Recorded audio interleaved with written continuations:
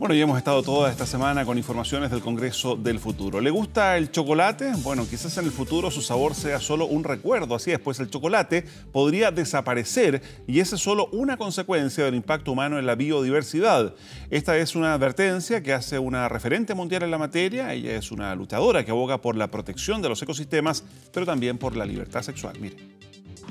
Vestido, botines, tatuajes. Brigitte impone su presencia a cada paso. Ella es bióloga, experta en biodiversidad y cambio climático, una voz reconocida en el mundo científico, pero también como activista trans.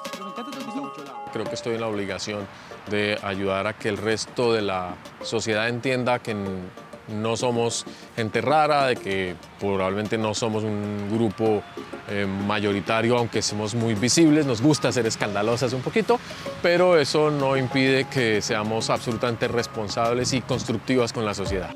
Brigitte siempre sintió que habitaba un cuerpo equivocado.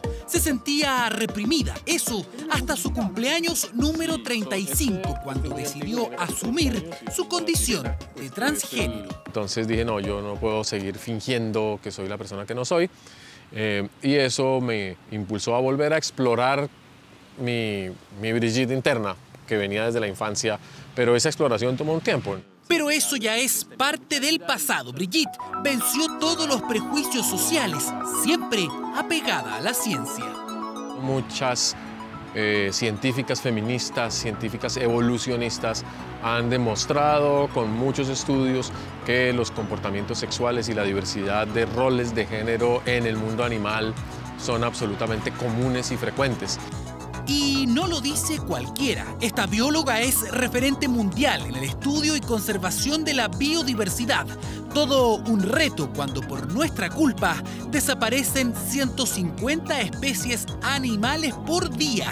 ¿En qué nos afecta? Dirá usted. Estamos a punto de quedarnos sin chocolate, porque realmente si no hay una solución de fondo para la adaptación y la producción sostenible, nos vamos a quedar sin muchos de los placeres y de los alimentos que son indispensables para las próximas generaciones. Frutas y verduras, la base de una dieta saludable podría estar en peligro. Todo porque... Nos quedamos sin los polinizadores que son indispensables para esas especies, sin las aves que generan diversidad genética o controlan las plagas de esos eh, cultivos. Eh, o sin los microorganismos y los invertebrados que mantienen la calidad del suelo y la posibilidad de metabolizar el fósforo, el nitrógeno o los nutrientes. Cada especie juega un rol fundamental en el delicado equilibrio natural, un llamado a la conciencia, un aporte necesario en la tercera jornada del Congreso Futuro 2019.